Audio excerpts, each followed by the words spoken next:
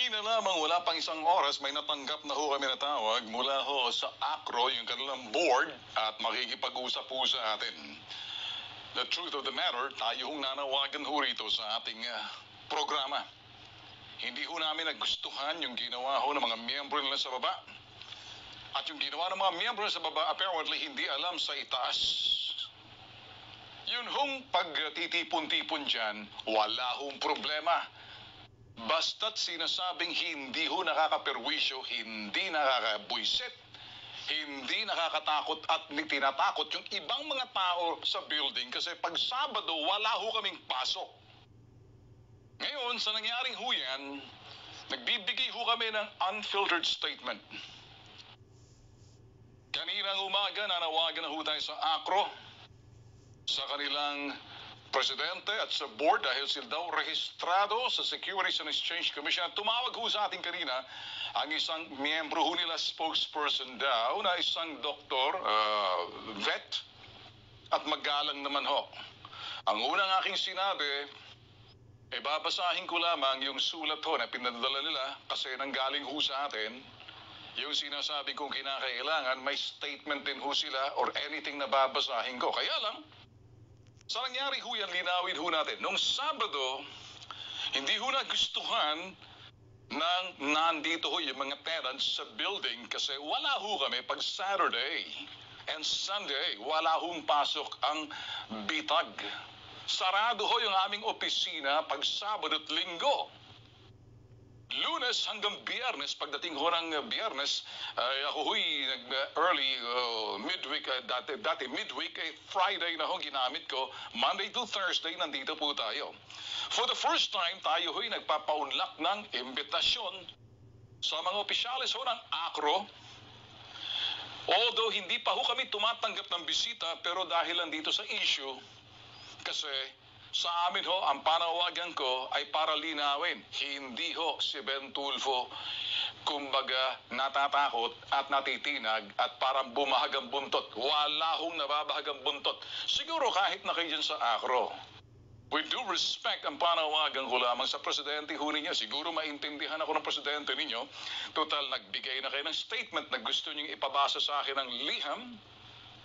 Sa kondisyon, mas maganda sigurong inaanyayahan ko muna lahat ho ng board ng ACRO na pwedeng pumunta ho sa amin at yung pinaka-presidente para magkaliwanagan. So, pansamantala, kayo mga miyembro ng ACRO, ipinagkaubaya ko muna kayo sa inyong mga opisyales kung kayo susunod.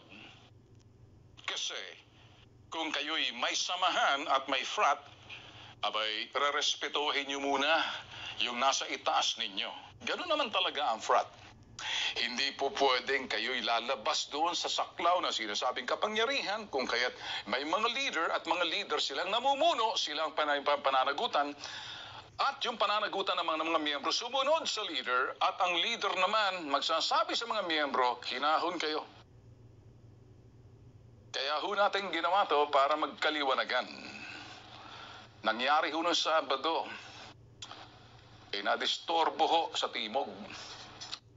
Hindi lang ho yung building o gusali na may ma- nagmamay-ari, korporasyon nagmamay-ari dito, pwede ho sila magsampa ng kaso at marami hong CCTV sa building.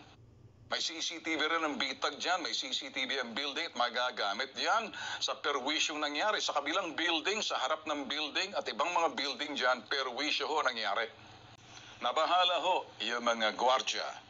Kasi haba ho kanina, yung hong tinitingnan ho natin, nire-review namin, may mga tapes din ho kami rito na pwede ho magsampa ang kaso. Ng kaso, ang building para malaman panagutin ang organizer nitong sinasabing pagtitipon ho. Kung hindi pa ho nagpatawag ng pulis at SWAT ang building ho. Hindi ho sila alis kaya dumating. Isa-isa na ho sila nag-aalisan. Kasi kung hindi, kaso ang inyong kahantungan. Kami, bibigyan namin kayo ng pagkakataon ihayag ang inyo dapat ihayag. Pero isang bagay lang, ayaw namin kayo nananakot, ayaw namin kayong nagbabanta, ayaw namin kayo pwede nyo ihayag yung mga bagay na gusto nyong ihayag. Ang punto ko ho, ayaw ko na ho makakasakit kasi yung iba sa inyo hindi nyo alam Siguro naman kabisado to ng inyong presidente at yung founding member ninyo na kayo'y umpisa sinasabi niyo founded in 1973 or 74. Well and good.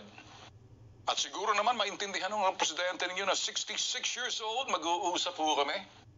At pag-uusapan namin para makita, una sa lahat, ang pag-uusap ay gusto ko lang isentro muna ano ang gagawin ninyo nung Sabado na parang anarkiya sa lansangan, nakaperwisyo, nagbabanta at pananakot doon sa mga guard at doon sa itaas ng building na nangyari pagdidistorbo, pagpiperwisyo sa traffic, na inuko pa na ninyo, kumbaga, at that point, para ipakita ang inyong puwersa, importante, siguro mas maganda kung sino mang nag-organize niya ng mga akro, aminin niyo muna na hindi kayo dumaan sa itaas para isagawa yan, para makita ng inyong mga leader sa itaas kung nga ba'y sanction yung ginawa ninyo.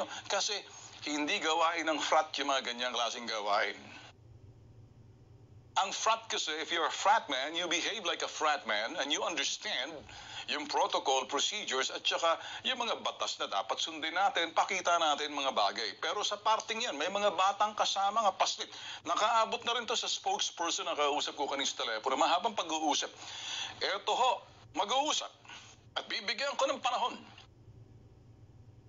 Kausapin ang mga frat members ninyo. Ang gusto ko lamang dito, Ayaw ko ho na nagduduruhan dahil ang salitang panduduro hindi na ho ubra. Eh, Yung bruskuhan hindi na ho ubra sa akin yan.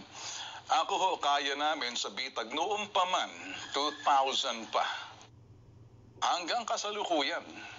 20 years na ang bitag. Sa inyong kaalaman, iba ang trabaho namin, hindi kami yung public service. Iba ang dating namin. Talagang tumatayo kami sa mga taong dapat naming ipaglaban hindi para manginsulto ng mga frat kung wala naman kayong atraso sa amin.